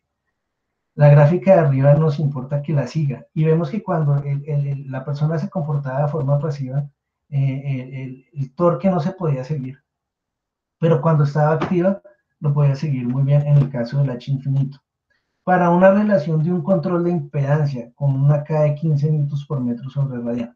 ¿Por qué les decía que esta no era tan importante? Es importante en el sentido de que la persona refleja movimiento, pero el control de impedancia, al control de la impedancia no le importa garantizar el seguimiento de posición, le importa garantizar una relación entre la posición y el torque. Entonces, si el torque no es adecuado, la impedancia que se transmite al usuario, no es adecuada. Entonces, en esta primera parte ustedes entenderán que es esa, esa, esa impedancia transmitida no es la adecuada debido a que hay un error de torque. En cambio, en esta parte, donde el torque se sigue de forma precisa, esa impedancia es transmitida de forma adecuada. Para el caso de, la otra técnica, el regulador robusto, que dice de las matrices grandes que queríamos comparar, encontramos que él sigue el torque, pero pues tampoco es que fuera la gran maravilla, pero por lo menos seguía el torque en magnitud y se acercaba más en fase en comparación al H infinito. Eh, con lo del ángulo, pues decíamos, no había necesidad de, que lo siguiera, pero esta relación entre este ángulo y este torque iba a garantizar esa K de 15. Vimos que la velocidad angular era ruidosa y que eso podía generarnos problemas en el control, y vimos que, pues lo que habíamos dicho, que no se detectaba el cambio de salto en el modo de operación en el instante, eh, pues, adecuado. Lo hicimos para diferentes valores, por ejemplo, acá subimos la amortiguación, entonces cuando la amortiguación se aumenta, eh, lo que se espera es que se siga la velocidad, no la posición, eh, un poco mejor. Y pero siempre se debería seguir el torque, entonces acá vemos que se sigue el torque y se sigue la velocidad. Y pues esto había que sacarle eh, una calificación numérica, ¿no? Entonces utilizamos la norma 2, usamos el RMS para determinar de forma global qué tanto estábamos, qué tan bien estábamos transmitiendo esos parámetros de impedancia al usuario que también se los transmitía el robot al usuario. Y calculamos entonces unas eh, constantes de rigidez y amortiguamiento reales basados a partir de las mediciones de los torques reales y los errores de posición y velocidad reales. Y nos lleva a esta tabla, que digamos que el H infinito funcionaba muy bien para el modo activo. Eh, digamos, si queríamos tener una K de 15, obteníamos una de 16. También lo hacía el regulador robusto muy bien, queríamos tener una K de 15, la obteníamos de 15.28. Pero en el caso del H infinito, cuando la persona se comportaba de forma pasiva, ya eh, eh, nosotros queríamos llegar a 15 en rigidez transmitida y llegábamos a 7. Entonces ya había un error. Cuando estaba en forma activa lo hacía bien. Y bueno, hicimos otras pruebas para mm, ver qué pasaba cuando se tenía adicionalmente un amortiguamiento adicional y vimos el regulador robusto lo hacía de una forma adecuada.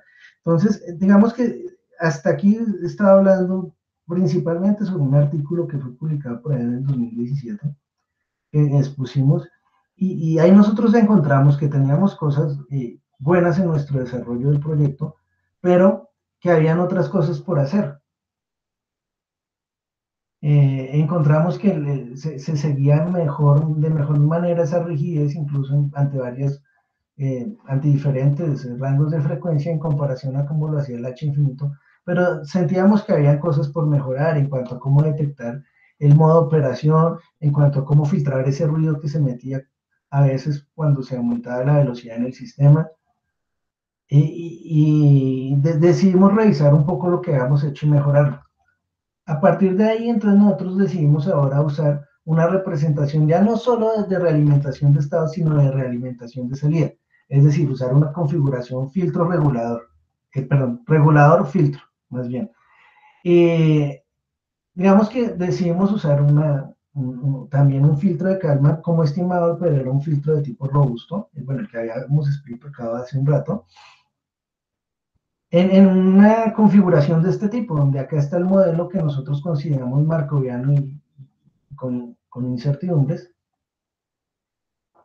y consideramos que podríamos estimar con ese filtro de Kalman robusto, teniendo la entrada y, digamos, los estados o las salidas que se podían medir más bien, y eh, con el eh, regulador robusto encontrar unas constantes de control que garantizaran un mejor desempeño en el sistema. Porque hay que aclarar algo, tanto el H infinito como el regulador robusto fueron estables. Eso es bueno, no tenemos problemas de inestabilidad, pero tenemos problemas de desempeño, queríamos mejorar el desempeño, porque eh, es claro cuando la persona se ponía el aparato y ocurrían estos problemas, ella se sentía extraña y pues no se cumplía con lo que queríamos. Bueno, entonces ahí trabajamos un poco con la teoría de, digamos, de control para ver si se podía trabajar con nuestro filtro robusto y nuestro regulador robusto, porque como es una teoría en desarrollo, eh, ya no está, no está tan bien sustentada como lo que, o bueno, no ha sido más bien, sustentada sí está bien, no, no, no, ha sido tan trabajada como el H infinito, o lógica difusa, o control PID. Entonces teníamos que explicar un poco mejor de dónde salían las cosas, ahí hubo un trabajo. Y adicional a eso, entonces nosotros decidimos cambiar nuestra forma de medir los parámetros de salto. Entonces para eso decidimos usar electromiografía. Entonces decidimos medir eh, la activación eléctrica muscular en los músculos eh, tibiales anterior y gastronemios. Y para eso usamos un equipo muy interesante que es el Delsis, eh, que él transmite vía Wi-Fi las medidas de electromiografía. Eh, buscando en la literatura encontramos que la activación muscular se podía describir a partir de un sistema de orden 2 y entonces usamos un filtro Kalman, en este caso sin nominal, muy sencillo, para determinar ese, como se dice acá, envelope, como una segmentación de, de, lo que sería la, la, señal de activación muscular de la electromiografía, ¿no? Entonces usamos el filtro, sacábamos el valor absoluto de esta señal porque nosotros queríamos era entender cuándo podíamos usar ese valor para determinar si había activación muscular, si la persona estaba haciendo fuerza, y con el filtrico encontrábamos, recuperábamos este tipo de señal que era más fácil de utilizar con un sistema con alguna lógica eh, para permitir el salto. Eh, usamos un histograma para determinar eh, cuál era el umbral de operación y a partir de umbrales, midiendo tanto la electromiografía y pasándola por el filtro, haciendo el procesamiento de señales de los músculos tibial y anterior y gastronemios, entonces definíamos el parámetro de salto. Ahora nosotros cambiamos la matriz de probabilidad, ya no la dejamos 0109, sino 0604, pensando en que esto está enfocado a personas que quieren rehabilitar su caminar y las terapias deberían ser diseñadas de una forma similar.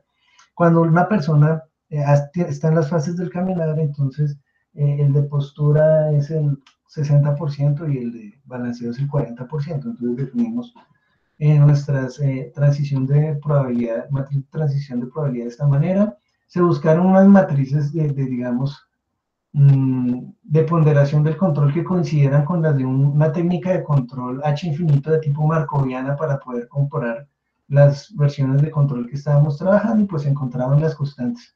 Es una forma de ver, en toda esa técnica de control se reduce en unas constantes eh, de control y de estimación, como está aquí. Y bueno, otra vez viene todo el proceso matemático para determinar si se cumple con la estabilidad y entonces le damos eh, otra vez la estabilidad en la media cuadrática, hicimos una simulación con parámetros aleatorios y veíamos que para todos los casos el sistema era estable.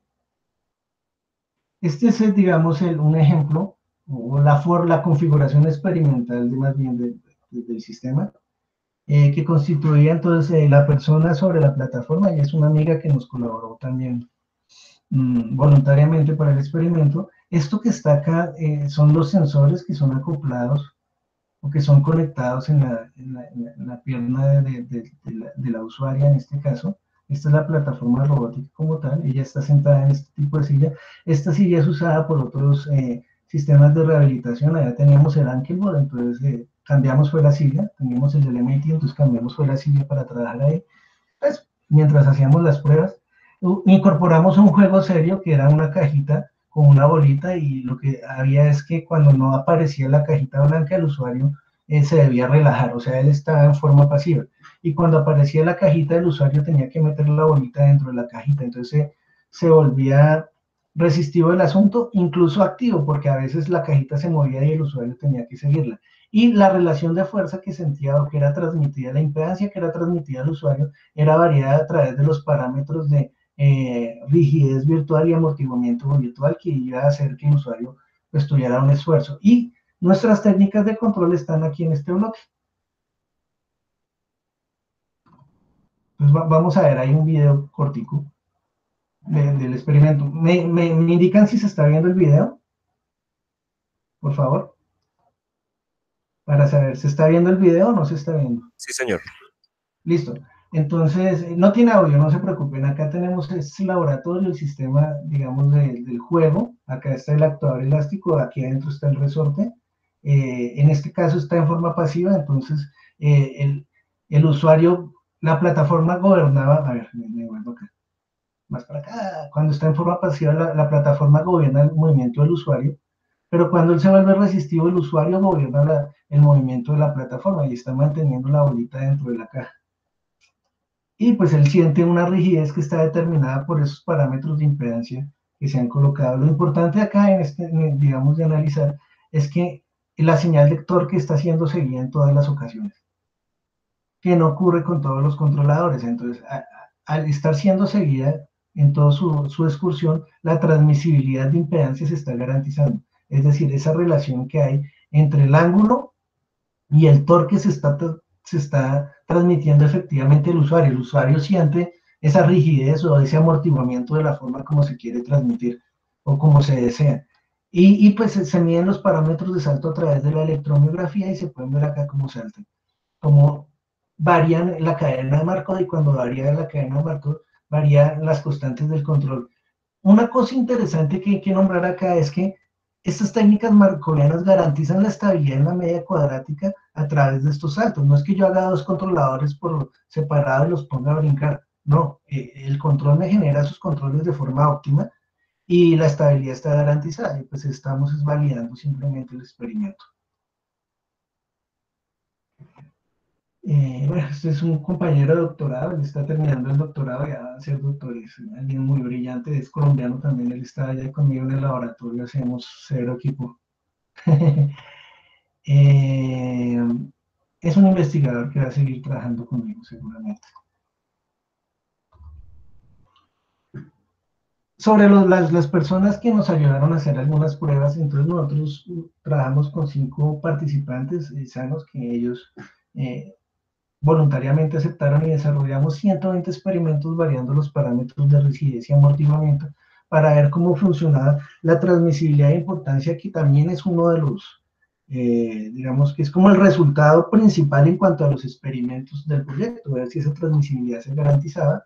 Entonces hicimos diferentes experimentos, por ejemplo acá se ve que el torque se sigue, esto fue para un usuario, el usuario ve que era masculino, medía 1,79, pesaba 84 kilos y tenía 37 años de edad.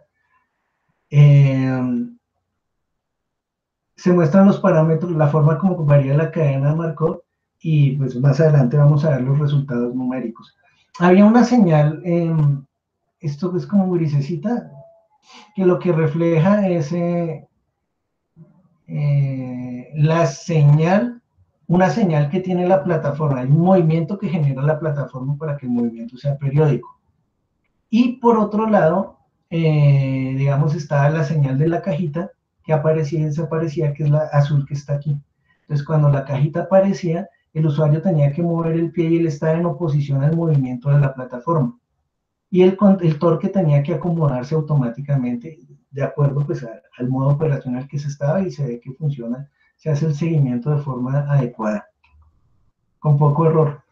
Lo mismo acá, entonces ya hicimos, eh, digamos, había que hacer experimentos ah, eh, también con otro tipo de señales, escogimos señales senosoidales, que eran las que usaba la plataforma, y se ve como cuando la persona aumenta mm, su rigidez, aumenta el torque en el sistema, en todos los casos el torque se está siguiendo, y hay unos momentos donde la persona pueda variar, aumentar o disminuir su torque porque es una, el, usuario es activo, él puede acomodar su, su, relación, su fuerza o su velocidad de movimiento, eh, independientemente de lo que esté programado en el sistema. Y aquí se ve entonces cómo salta el sistema cuando la cadena de.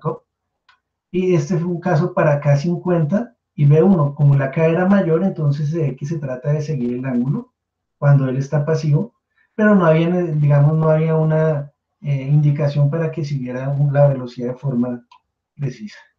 Ahora hicimos otro experimento acá, digamos, se hicieron varios experimentos, en este caso, en algunos el usuario era pasivo, en otros casos el usuario iba siguiendo, eh, tratando de seguir la cajita, entonces era no solo resistivo, sino también era activo, entonces acá él estaba tratando de seguir en algunos momentos y en otros momentos se volvía resistivo. Miren que él trata de seguir el, el movimiento. Ante estos movimientos entonces hay más variabilidad y digamos no era, no es determinístico entender cómo se va a comportar la actividad muscular o, cómo el usuario va a tratar de atacar el problema, entonces ahí pues la cadena de marcos varía más. Eh, ese mismo experimento, pero ahora con una rigidez mayor. Entonces, en este caso, como la rigidez mayor, él trata de seguir la velocidad. Eh, pues se ve que siempre sigue el torque en general, que era lo más importante, y cómo varían las señales de electromiografía. Para resumir todos los resultados de los 120 experimentos, entonces se encontró que si nosotros queríamos rigidez de 0.5, 1, 5 y 10 en este caso, eh, ante los 120 experimentos, el, resultado era de alguna forma muy preciso, variaba un poco la exactitud, pero era muy cercano a, lo esperado.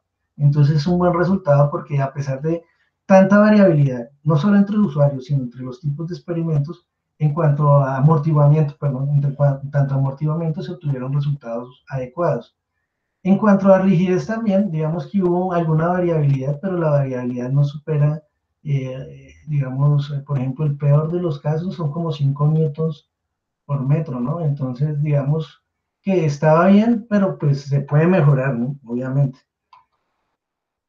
Eh, acá algo de los datos estadísticos, entonces los rangos intercuartiles, pasemos un poquito más adelante y pues digamos que eh, ¿qué encontramos con lo que hicimos? Eh, que podíamos compararlo, entonces comparar nuestro regulador robusto, sujeto a saltos marcovianos, el regulador robusto con filtro y un diseño de un H infinito con filtro. Eh, resolvimos, bueno, sin filtro, H infinito sin filtro, resolvimos, hay una forma de aproximar ese modelo de, por ejemplo, un modelo eh, que no considera incertidumbres paramétricas, sino solo un disturbio, un modelo con incertidumbres paramétricas. Entonces, pues hay unas ecuaciones. Todo esto está por publicarse en un transacción, espero que salga prontamente. Eh, se encontraron las ganancias de control y se hicieron algunas pruebas. Se encontró que para el caso del regulador sin filtro, en algunos casos había unos picos de respuesta que no, no son deseados en la señal de torque. Para el del H infinito, Ocurrió lo mismo, otros picos que no eran deseados.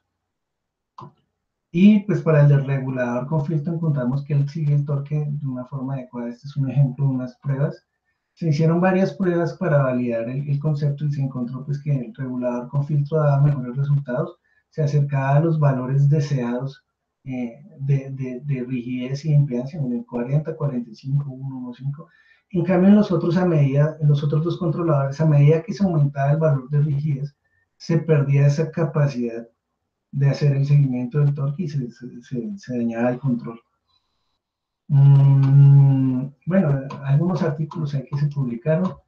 Eh, bueno, las conclusiones, eh, pues se desarrolló una metodología de diseño para filtro, control de impedancia con esta teoría de control marcoviano eh, se desarrolló una teoría unificada entre regulador robusto y filtro de Kalman. Eh, con el, eh, digamos, esto funcionó teniendo en cuenta que los parámetros de los humanos pueden estar variando y que pueden ocurrir cambios abruptos en su debido a su naturaleza. se consideraron modos de operación con incertezas limitadas. se incluyó el modelo de de, segundo orden, que, es una simplificación, ¿no? Lo que hablaba inicialmente, que incluye pues, rigidez, amortiguamiento y inercia. Eh, pues se, propuso, se propusieron esos controles. Pues se presentó en este proyecto un análisis de estabilidad, que aquí no profundicé, eh, y pues eh, se, se, encontró que al usar el, el, control con el filtro, pues no solo es estable el sistema, sino que él puede atender eh, ruidos y, y, disturbios adicionales que permiten que la, la, respuesta, el desempeño del sistema sea mejor. Entonces, ahora estoy desarrollando este proyecto, eh, que son los trabajos a futuro. se llama Análisis de Desempeño de Sistemas Robóticos para Rehabilitación del Caminar. Mm, y entonces, dentro de esos trabajos futuros, hay estudiantes de maestría y de pregrado que ya están trabajando, entonces estamos con algunos replicando el sistema de ERSIS, que es un sistema Wi-Fi, eh, adquisición de señales de electromiografía.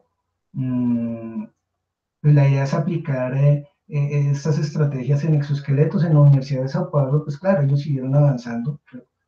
Ya me fui allá hace más de año y medio y ya les voy a mostrar un avance que ellos tienen y hacia donde yo quiero ir.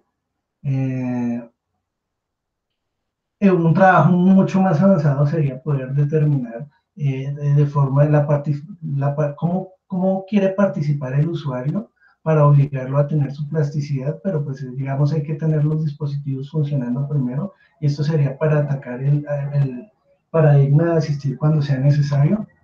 Entonces miren, hacia el futuro, eh, esto es lo que ya tienen mis amigos eh, de rehabilitación, del laboratorio allá de rehabilitación robótica y del ASI en Sao Paulo. Ellos ya, eh, pues e, este es un exoesqueleto que fue patentado allá y hay un actuador elástico en serie que también fue desarrollado por unos investigadores eh, por unos amigos. Eh, y, digamos que la teoría marcoviana ahora se está aplicando eh, acá a este exoesqueleto. Esto fue publicado ahorita en el IFAC por Escalante, hace como dos meses. y eso incluye tener actuadores elásticos en serie, sensores de fuerza que miden la interacción con el suelo para determinar las fases del caminar y tratar modos de operación. digamos, este actuador elástico es similar al de la plataforma, pero ahora es circular. Miren, acá está el resorte, debe tener conectado un encoder acá, entonces se necesita un procesamiento de señales. Eh, por otro lado, Nogueira, que es otro compañero, otro profesor, profesor de la Universidad Federal de San Carlos, él trabaja con estimación de mm, las señales eh, cinemáticas de posición angular, velocidad angular a partir de filtros de cadena marcovianos y eh, algunas técnicas que él ha propuesto, entonces la, idea es ir en esa línea. Eh, y pues esto busca mejorar lo que ya se hizo antiguamente, ¿no? Por ejemplo, usar señales del cerebro, analizar la, intencionalidad humana, eh, ver cómo otro tipo de paradigmas como el de imaginación motora pueden ayudar también a resolver este tipo de problemas. lo que sería aún más allá interesante sería poder hacer experimentos y ayudar a personas, ¿no? Eh, que realmente tengan esta discapacidad, pero pues es una línea que, que pues estoy empezando, ¿no? Eh, si, el país me acoge, pues, o sea, la, la, idea sería poder desarrollar esto por eh, mucho tiempo. ¿Por qué no a largo plazo llegar a ser algo como lo que hace Nicolelis, que es un investigador también brasileño, brasileño que trabaja en Estados Unidos? que él pues tiene cosas como usa tecnología de ya desarrollada de, robots para ayudar a las personas a rehabilitar, usa realidad virtual, usa exoesqueletos, usa eh, señales de electroencefalografía, de electromiografía, eh, para ayudar a las personas, ¿no? Entonces, chévere poder llegar a tener una línea de investigación, un laboratorio con todos estos equipos, esperemos que si más adelante pues, se puede llegar a esto, sería interesante. Y bueno, esta era la charla. Muy obrigado, gente. Obrigado pela asistencia. Si tienen preguntas, puedo responder con mucho gusto.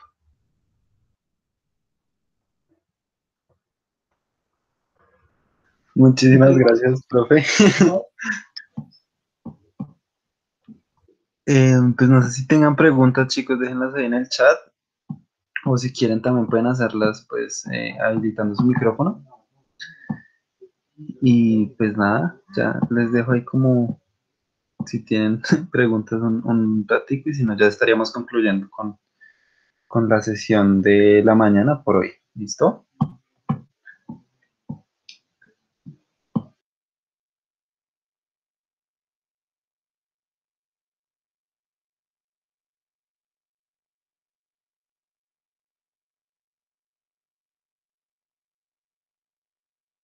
Espero que haya sido interesante la charla, no haberlos aburrido mucho tal vez. y pues eh, eh, estoy a la orden, ahí están mis correos. Entonces, eh, pues queda atento. Muchísimas gracias, muy amables. Listo. Gracias, profe. Gracias. Gracias, profe. Bueno, hasta luego. Chao, chao. Chao, chao, profe.